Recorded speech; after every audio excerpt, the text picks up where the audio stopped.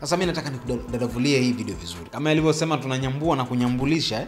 sasa na hii tuninyumbue hii video vizuri. Majizo imeanza simu imepigwa yuko kituo cha bodaboda. Akapokea simu. Alivyopokea simu akawasha pikipiki yake akaondoka kuelekea mahali ambako hatupajui. Anaonyesha anapitia kwenye mazingira magumu amepita kwenye dimbwi la maji akapita.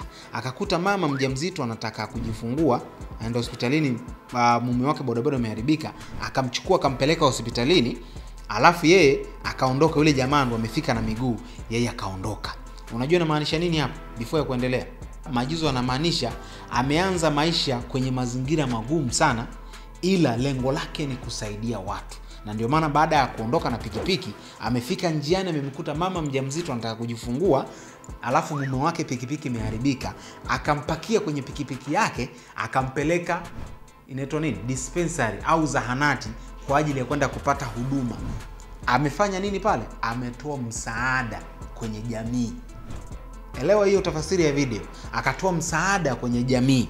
Tunaendelea kuiangalia hii video. Baada ya kumsaidia huyu mtu yeye akaendelea na safari yake. Maana yake ni kwamba mimi nipo kwenye safari yangu. Nimemsaidia mtu ninaendelea na safari yangu.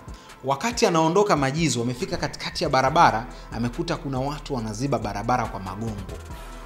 Yaani magogo sio magongo magogo miti mikubwa ile. Alafu kuna ustazi moja amejifunga kilemba chake anamwambia tulia. Maanake ni nini? Maanake ni hii hapa. Diamond aliwatambulisha kitenge na gerard hando akajiita shekh mansuri. Unanielewa Sheikh mansuri. Amevaa kanzu amejifunga kilemba. Majizo ameondoka anaenda kwenye harakati zake kwenye kazi zake amekuta watu wanaweka magogo barabarani wanaziba njia wanamziba majizo asiende anapotaka kwenda. Elewa hapo.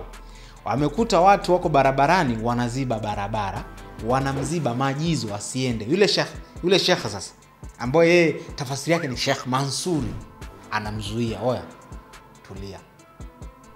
Jamaa akamwangalia akacheka. Maanaake ni kwamba anamzuia anamwekea vigingi barabarani kwenye njia yake ya miangaiko asifike anapokwenda.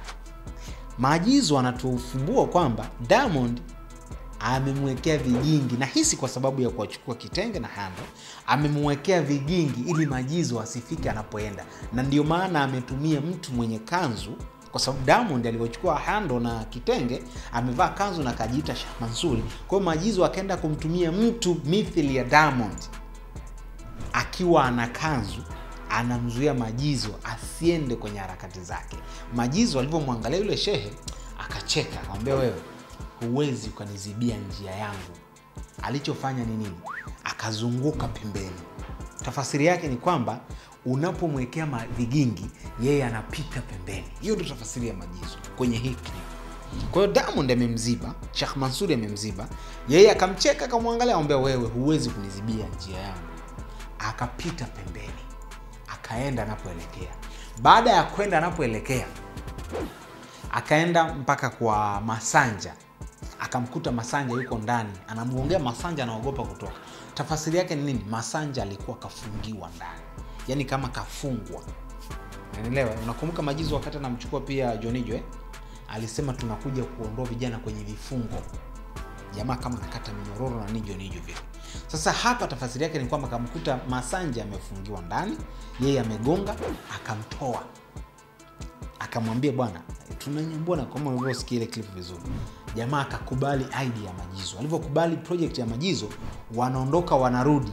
Wanamkuta shekh mansuri bado yuko barabarani amekaa kwenye gari yake. Tafasiri yake she mansuri si anajifanya ana hela? Yani ndo tafasiri ya majizo. Si una hela? Kwa sababu ukiangalia kwenye klipu yule jamaa ameajiri watu wanaziba njia halafu yeye yupo kwenye v8 gari ya thamani na nini. Alafu majizo yupo kwenye bodaboda unaelewa eh? yupo kwenye bodaboda. Hiyo jamaa yule masanja baada ya majizo kumchukua naenda naye ofisini akamkuta akamgongea jamaa kwenye gari. Akamwambia imeisha baba imeisha. Unanielewa yani yaani mi ndo nasepa. Hiyo ndo tafasiri ya clip ya majizo wewe mwenyewe ukiangalia utaelewa. Kwa majizo akamchukua akampeleka kwenye midia yake akakutana na mtu mwingine akampokea ambao ni sebo. Sebo amempokea alafu majizo hana muda wa kupoteza pale kukaa pale. Tafasiri yake nini? Ameondoka ameenda kwenye miangaiko tena. It anaenda kutafuta mwingine. Telescope ni kifaa cha kuzum kuangalia vitu ambao viko mbali ambao havionekani kwa macho. Kwa maana yake telescope ametumia kama yeye anatafuta vipaji ila watu wanavichukua